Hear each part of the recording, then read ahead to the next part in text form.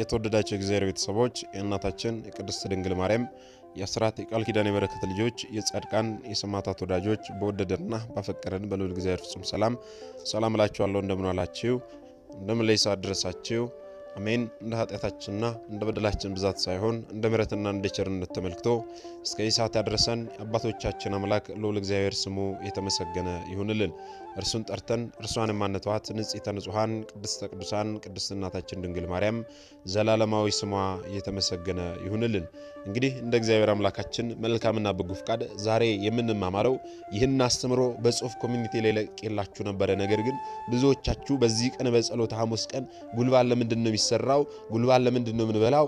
አመጣጡስ እንዴት ነው? መቼ ነው የተጀመረው? የሚለውን ብዙዎቻችሁ comment ስር እየጠየቃችሁ ስለሆነ በዚህ እንድንማማርበት ርዕስ አድርጌ ነው ይዤ መጥቻለሁ ማለት ነው። ስለዚህ በዛሬው ትምህርታችን ላይ ጉልባን ለምን ይሰራል ከምን ይሰራል? ለምንስ ይሰራል?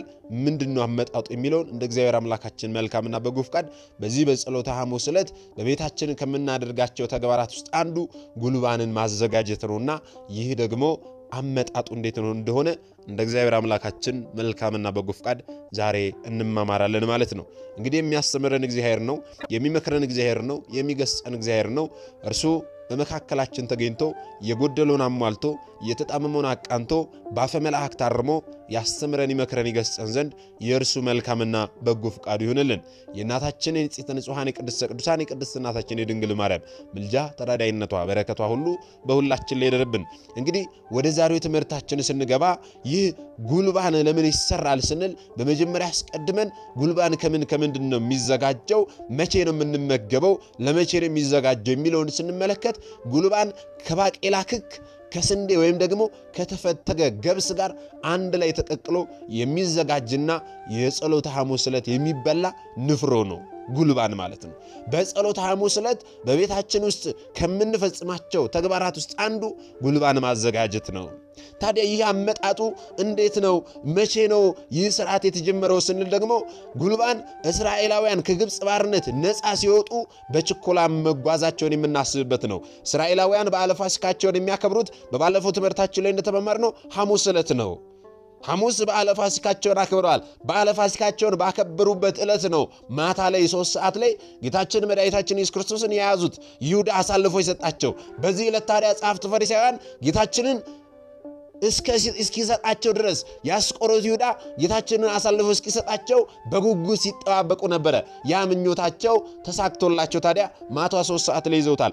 በዓለ ፋሲካቸውን የሚያከብሩት እንዴት ነው ስንል ደግሞ እኛ በዓለ ፋሲካችን እንደምናክብር ጌታችን አምላካችን መድኃኒታችን ኢየሱስ ክርስቶስ ሞትን ድል አድርጎ የተነሳበትን ትንሣኤ ብለን በዓለ ፋሲካ ብለን እንደምናከብረው የክርስቶስን በዓለ ፋሲካ ሳይሆን የሚያከብሩት እስራኤላውያን ከግብፅ ባርነት በሙሴ አማካኝነት ቀይ ባህርን ተሻግረው የወጡበትን ያንን ቀን በዓለ ፋሲካ አድርገው ያከብሩ ነበረ።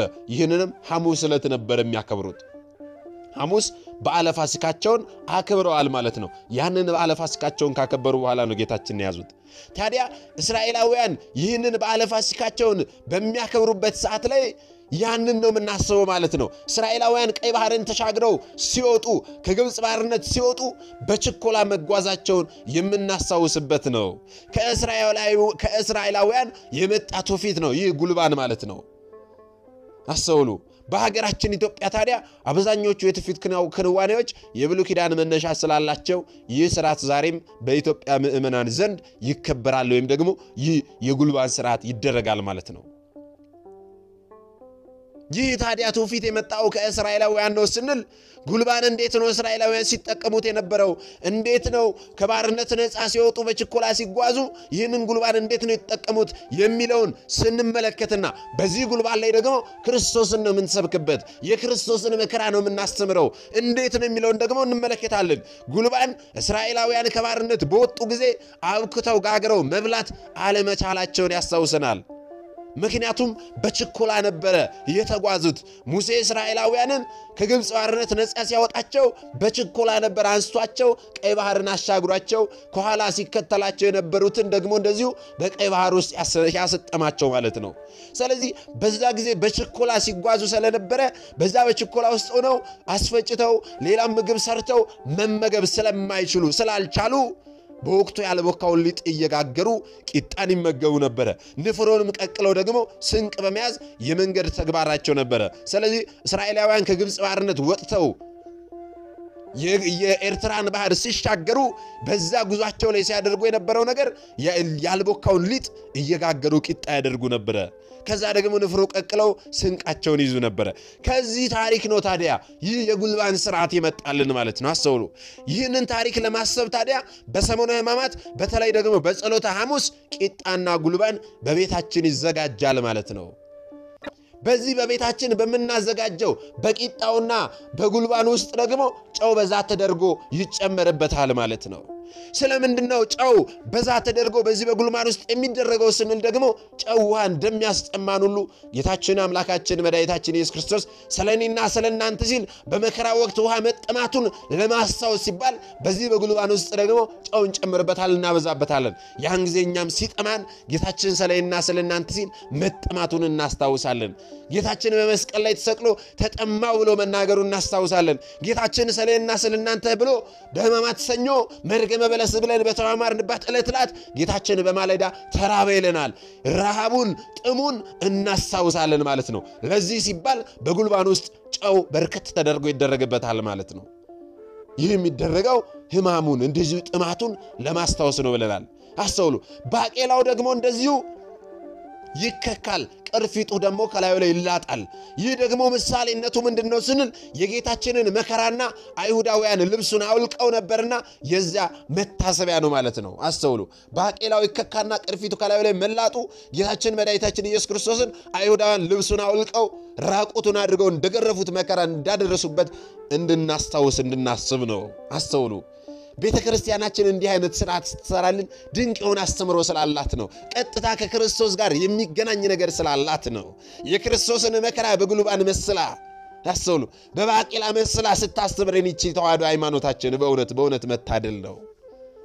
ሌሎች የማያውቋት ግን ይችን ቅድስት ሃይማኖታችንን ምን ይሏታል? ክርስቶስን አትሰብክም ይላሉ። ማርያምን ብቻ ነው የሚሰብኩት፣ መላእክትን ብቻ ነው የሚሰብኩት ይላሉ። ቤተ ክርስቲያናችን ግን እንደ ክርስቶስ ከክርስቶስ በላይ የምትሰብክለት የምታስተምርለት ሰው የለም። እኛም እመቤታችንን አናመልክም፣ መላእክትን አናመልክም። እግዚአብሔር ስላከበራቸው እናከብራቸዋለች እናከብራቸዋለን። ንጽሕተ ንጹሐን ቅድስተ ቅዱሳን ቅድስት እናታችን ድንግል ማርያምም ከሁሉም በበለጠ ክብር ይገባታልና እናከብራታለን እንጂ አናመልካትም። ይህንን የማያውቁ ሰዎች ግን ክርስቶስን አትሰብክም ይላሉ። ክርስቶስንማ ከተዋህዶ በላይ ማን ይሰብካል? ባቄላን መስላ እንኳን የምታስተምረው እኮ ቤተ ክርስቲያናችን የክርስቶስን መከራ ነው፣ የክርስቶስን ስቃይ ነው የክርስቶስን ራቆቱን መሆን ነው። ባቄላ ተከክቶ ቅርፊቱ እንደሚላጥ ጌታችን ደግሞ እንደዚሁ ልብሱን እንዳወለቁበት ስታስተምረን ነው። አስተውሉ።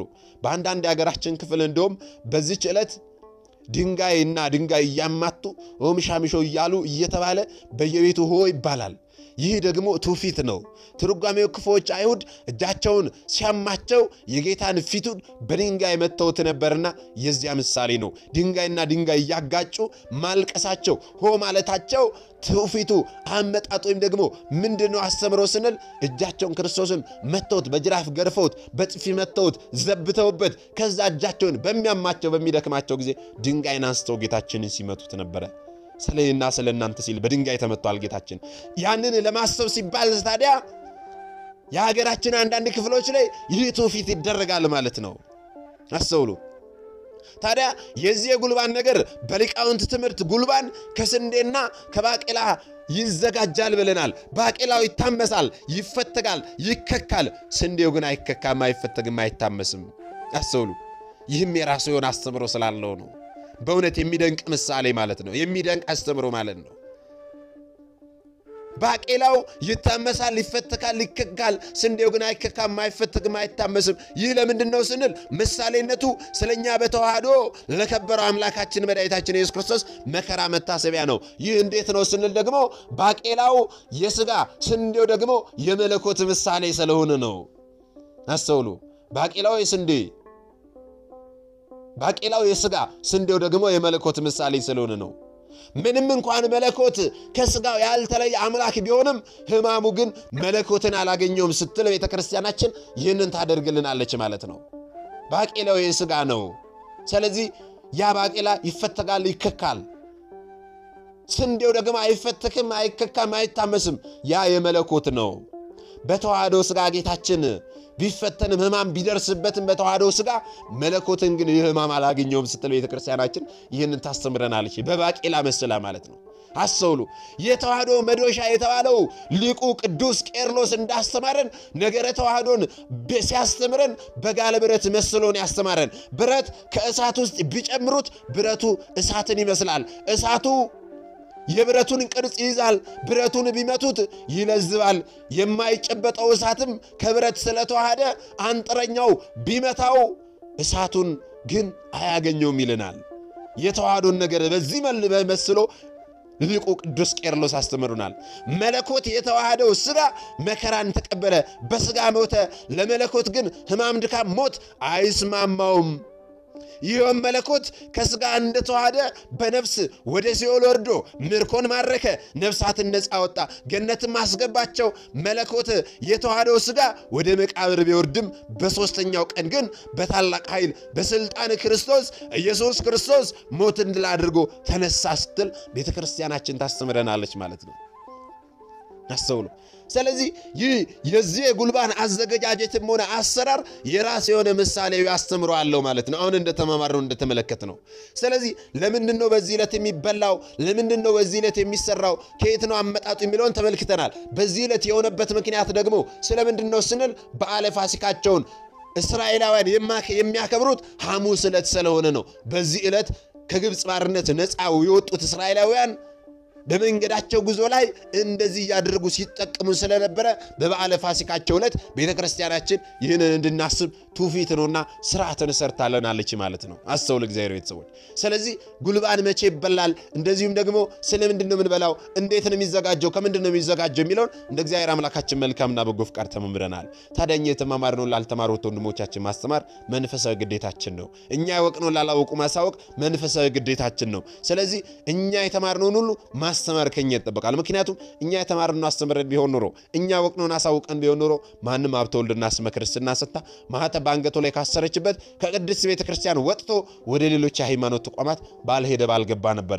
ነገር ግን እኛ የተማርነውን ስለማናስተምር ያወቅነውን ስለማናሳውቅ ብዙ እህቶቻችንና ወንድሞቻችን እየሳቱን ያሉትና እየሳቱትንም ለመመለስ ያሉትንም ለማጽናት ታዲያ አሁን ላይ የተማርነውን ወደፊትም የምንማረውን የቤተ ክርስቲያናችን አስተምሮ ልናስተምር ያስፈልጋል ማለት ነው። ይህ ደግሞ መንፈሳዊ ግዴታችን ነው። ይህንን ደግሞ አድርገን መንፈሳዊ ግዴታችን ልንወጣ ያስፈልጋል። ምናልባት ደግሞ ዛሬ ገና ወደዚህ መንፈሳዊ ቻናል የመጣችሁ ሰዎች ካላችሁ ከዚህ በፊት የተማማርናቸውም ከዚህ በኋላ የምንማማራቸውም መንፈሳዊ አስተምሮች ወደ እናንተ እንዲደርሱ ከፈለጋችሁ subscribe አድርጋችሁ ደወል ምልክቱን መጫን ይኖርባችኋል። ምክንያቱም ይህ ቴክኖሎጂ ያመጣው ስርዓት ነው፣ እኔ ያልኩት አይደለም። ይህንን ካደረጋችሁ ዕለት ዕለት ከዚህ የሚለቀቁ አስተምሮች ይደርሷችኋል። ካላደረጋችሁ ደግሞ ዛሬ እንደ አጋጣሚ እናስተምሮ ሰምታችሁ ሊሆን ይችላል።